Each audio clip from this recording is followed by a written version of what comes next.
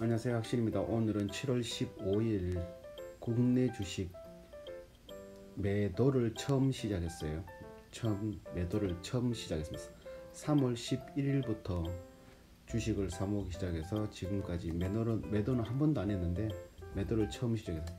매도를 한 이유는 포트폴리오를 선택과 집중을 조금 줘서 어, 수익률보다는 비중을 더 높여서 수익률을 극대화시키려고 매도를 했습니다.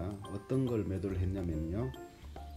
어, 네이버 네이버 두 주밖에 없어가지고 두 주밖에 없어서 매도를 했고요. 한국전력 이것도 여섯 주 KT 요거는 44주 삼성 SDI 과 SK 이노베이션은 제, 제 포트폴리오 LG 화학이 있습니다. LG 화학이 제일 대, 제일 잘 나가고 있어가지고 그거 놔두고 이 두 개는 정리를 했습니다. 삼성 SDI 이노베이션, CJ 대한통운은 제 사정이 칼날에서 벗, 벗어나지 못하게 된 이유가 얘는 얼마 전에 뉴스에서 이게 나오더라고요.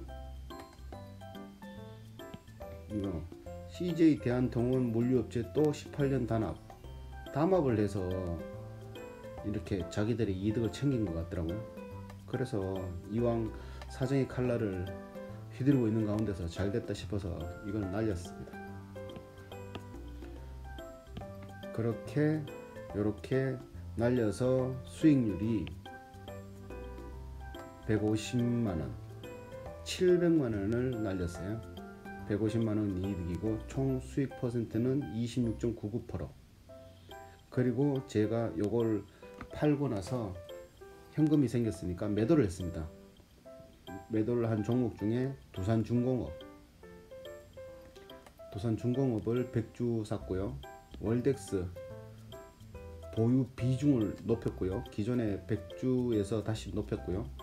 메리츠증권 기존 200주에서 100주를 추가 더 구입했습니다. 어, 두산중공업 같은 경우는 제가 구매하게 된 경우는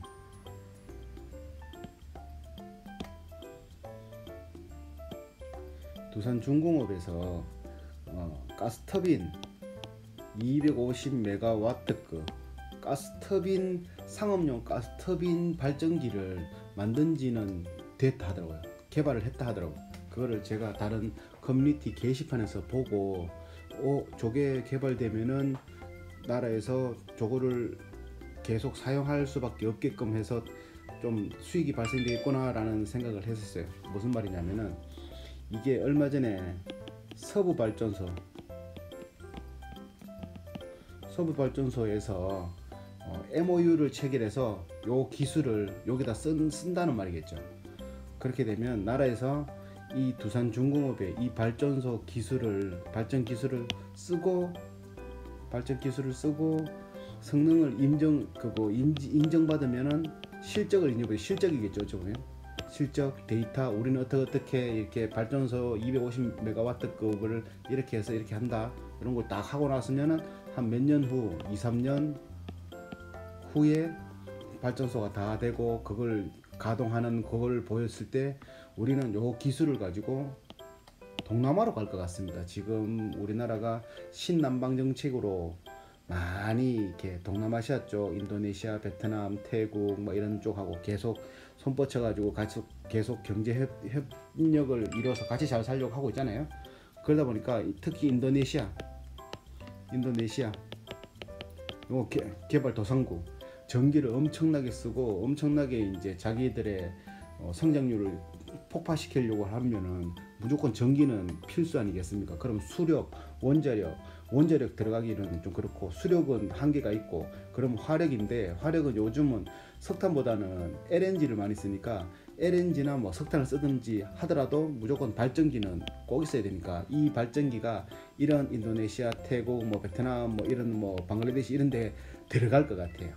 그렇게 들어가려 그러면은 이렇게 실적을 우리나라에서 먼저 인정을 받아야 되기 때문에 서부 발전소 여기에서 실적을 먼저 쌓게 하고 요 실적이 쌓인 거를 외국으로 이제 나갈 때 써먹는다 이렇게 저는 그림을 그렸고 그렇게 영감을 받아서 두산중공업 액면가 5천원도 안 하는데 지금 4,600원인데 매수하게 되었습니다. 두산중공업은 지금 부도 위험 나여 있고 너무나 많은 계열사로 인해서 채권들이 계속 날리고 있는 중이죠. 돈 안 되는 것들은. 근데 두산중공업은 돈이 안 되진 않죠. 엄청나게 기술도 많고 핵심 기업이라고 볼 수 있으니까 나라에서도 이거는 죽일 수가 없는 기업이라고 볼 수 있으니까 저는 한 몇 년 후를 바라보면서 두산중공업을 매수하게 되었습니다.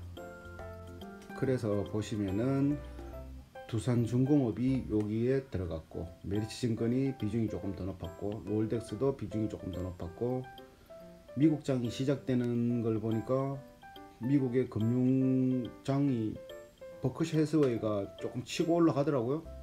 존슨앤 존슨도 치고 올라가고 그러면 저는 땡큐가 될 것 같습니다. 미국장이 열리면은 아무래도 테슬라의 비중을 한두 주 조금 더 높일 것 같아요. 1740불까지 올라갔을 때는 너무나 가슴이 아파가지고 너무 도망가니까 막 잠도 안 오고 부담스러웠는데 짜증났는데 그 다음날 일어나 보니까 1530불로 떨어지니까 너무 얼마나 기쁘던지 다시 사랑에 빠졌습니다. 그래서 테슬라가 별큰거 없으면은 두주 매수를 할 거고요. 그렇게 되면 테슬라 비중이 더 높아지겠죠. 그리고 나머지는 현금은 대기하고 있다가 삼성이나 뭐 삼성전자 우나 아니면 또 다른 또 메리츠증권 월덱스 아니면은 현금 두산중공업 이런 거에서 하, 할 거고 추후에 매도할 수 있는 종목은 아직까지 비중이 적은 어, 코카콜라 이거 매도할 수 있을 것 같고요. 어, 또 있는 SK 요거는 어느 선에 갔을 때 매도할 수 있을 거고 비중을 굉장히 또 더 더 좁힐 겁니다. 그리고 신세계, 이마트 제 전체 포트폴리오를 한번 볼게요.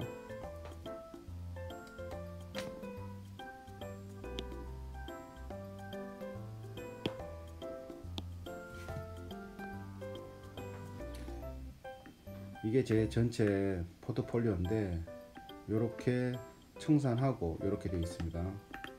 보면은 티웨이 항공 이거 뭐 티웨이 신세계 메리츠 점검 LG 생활건강 요거 말고는 다 플러스입니다. 이거 말고는 다 플러스인데 하여튼 요거 4개 다 합쳐봐야 160만원 220만원 240만원 정도 됩니다 비중이 3% 4% 4% 요거 요거 정리할 것 같고 여기에서 유한양행 월덱스 오뚜기. 항공 한국 항공우주 이거는 큰 의미는 없는데 이건 일단 그냥 놔둘 것 같아요. SK 그룹 요거 하고 음, 참 애매하네요. LG전자 하여튼 뭐 특별히 저, 뭐 요거 네개 하고 몇 가지 보고 비중을 날리든지 매수 비중을 날릴 것 같습니다. 해외 주식은 이제 열렸으니까 국내 주식을 판 금액이 저는 바로 해외 주식으로 매수 될 줄 알았는데 원화가 D 플러스 D2 마이너스 D2인가? 거기에 돈은 있는데 이게 해외 주식을 못 사더라고요. 그래서 사고는 싶은데 못 사서 했는 방법이 포트폴리오 정리가 들어갔습니다. 그래 뭘 정리했냐면 QQQ를 10주 전량 매도를 했고요. 그거 두 10주 매도를 한 걸로 테슬라 두 주를 샀고요. 그리고 구글도 한 주 매도를 했습니다. 매도. 그리고 SPGI 요것도 한 주 있던 거 매도를 했습니다. 그래서 남아 있는 돈으로 테슬라를 또 한 주 샀어요. 총 테슬라를 세주 4,500불 샀고 구글은 한 주 팔아서 328불을 이득 받습니다. QQQ는 2,620불인데 266불을 이득 보고 SPGI는 354불에 팔아서 58불을 이득 봤어요. 총 16.95%의 마진을 남겼습니다. 그래서 저의 포트폴리오 테슬라는 다섯 주 되겠습니다. 미국 주식 한번 볼게요. 이게 테슬라입니다. 요거 이제 버크셔 해서웨이가 지금 치고 올라와서 요게 플러스가 될 것 같고 버크셔 해서웨이도 비중이 14% 되거든요. 비중 보면 테슬라가 37%가 됐습니다. 지금 다섯 주 7,500불 수익률은 18% 애플 29% 이렇게 되고 제일 아픈 손가락 DHT 원유 운반주 MGM 요거는 NGP 요거는 어 그 뭐지 카지노 리츠주 카지노 매장에 그거 땅 빌려주고 그 건물주 건물주 건물주 큰 걱정은 없습니다. 코카콜라 이거는 큰 걱정이 있습니다. 이거는 왜 안 올라오지? 큰 걱정이 있습니다. 그리고 버크시 해스웨이는 지금 다 올라왔고 버크시 해스웨이를 추가 매수하려고 그러다가 테슬라로 갔습니다. 테슬라는 테슬라는 저희에게는 메인입니다. 이제 테슬라의 비중이 저희 포트폴리오 50% 이상을 차지할 것 같습니다. 일단 이렇게 요번에는 어, 매수도 했고 매도도 했고 첫 매수를 국내 주식으로 했고 미국 주식도 못 사서 매수도 따로 했고 또 여기에는 몇 가지를 또 매수할 수도 있을 것 같습니다. 감사합니다.